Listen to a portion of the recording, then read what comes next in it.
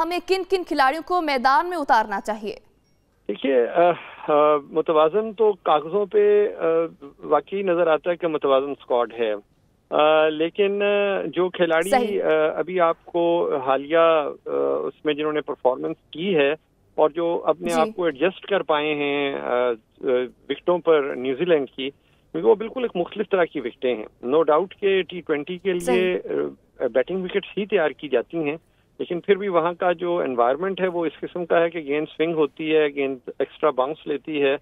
تو ہمیں حارث سہیل پہ ایک تو بڑا ہمارا میرے خیال میں ایک تو انحصار ہوگا۔ وہ اچھی فارم میں ہیں اور ان کے علاوہ حفیظ ہیں۔ جی۔ وہ بھی مجھے لگ رہا ہے کہ he'll be able to perform well اور اگر شعیب فٹ ہوئے اور اپنی انجری سے ریکور کر گئے ہوئے تو ان تین کھلاڑیوں کا جو رول ہے وہ ٹی ٹوینٹی میں وائٹل ہوگا۔ اس کے علاوہ جو چیز بڑی امپورٹنٹ ہوگی وہ ہماری ہمارا اوپننگ پیئر ہوگا کہ وہ کس طرح سے ہمیں ایک اچھا اوپننگ آغاز فراہم کرتے ہیں۔